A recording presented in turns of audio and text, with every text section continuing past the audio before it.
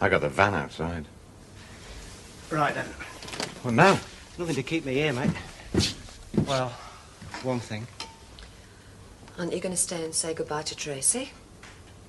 Oh, you do it for me, will you?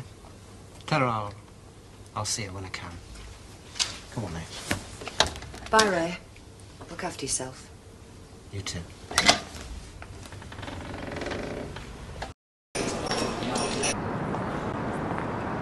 Oh, thank you. Thanks. There you go.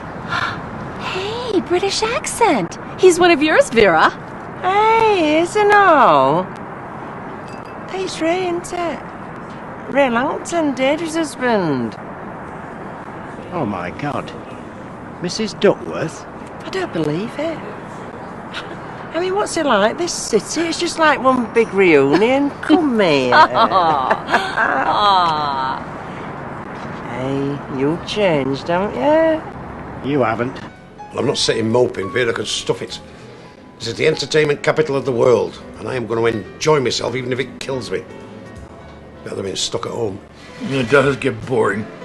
Having money. Oh, aye. I mean, that's why we go on holiday, innit? To get away from it all.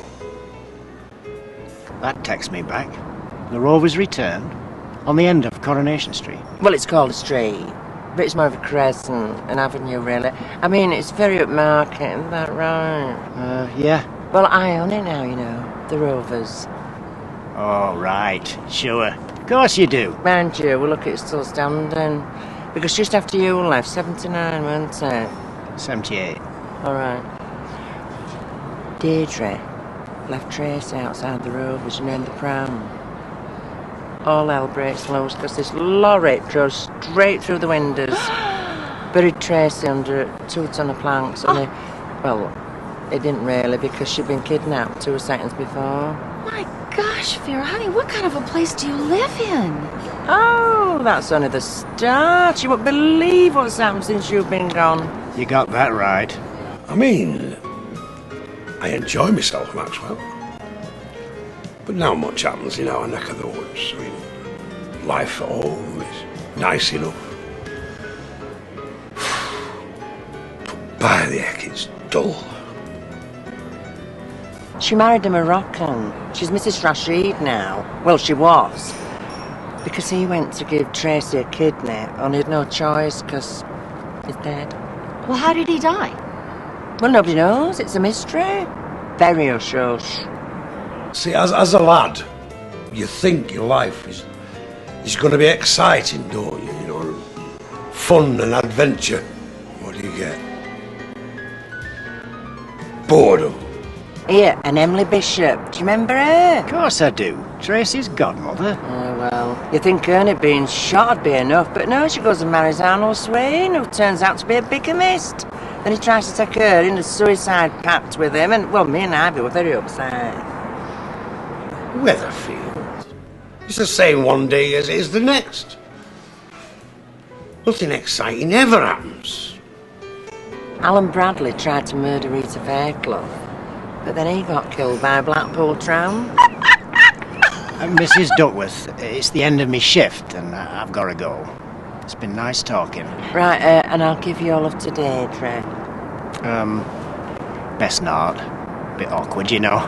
Why? What have you been up to? Well, I got married in Amsterdam to a bloke called Raymond.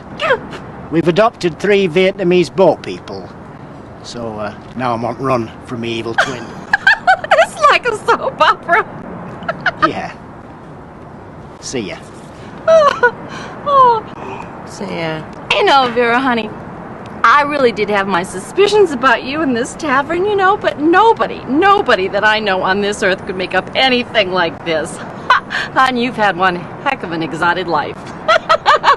yeah, well, wait will I tell you about Pat Gilroy? Oh, yeah, come on. Um, no more for her. Sad old drunk.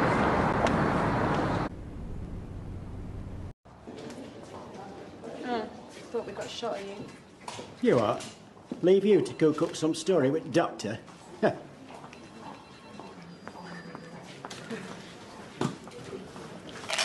what are you missing then? And you get done up like that just to stand in the middle of roads. I'm missing my parents' wedding, thanks to you. Oh, looking to make an honest girl of you, are they? Take more than that. And when they find out why I'm missing it, you're going to wish you'd never driven into Weatherfield. Oh, I already do, sweetheart. Now it changes. There always was some hard piece up the street looking out to make trouble. I thought he'd gone. Not until she admits she's one lying cow. Tracy, are you all right? Where's Amy? Yeah, she's okay, no thanks to him. Ray! Good heavens. What, do you know him? Oh, yes, Tracy. I know him. Tracy? Yeah, well, he's an idiot, and he's a menace. Oh, yes, he is. And he's also your father. You? You're my dad? Look at you. I don't believe this. He just ploughed into Amy. Well, bad penny doesn't quite hit the spot, does it? Blanche. What are you doing here? Checking he's not killed his granddaughter.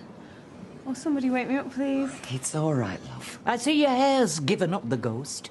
Quite the young buck, weren't you, with that unruly mop? It's been a long time. I'm an old man. Wow. Look at you. You stop saying that. Not wrong with this gene pool, Deirdre. Oh, for heaven's sake. That's right. Take the weight off your conscience. Hey, I can't believe it. Of all the gin joints, eh? Oh, not that much of a surprise to see them, surely. It's Weatherfield where you left them. What can I say?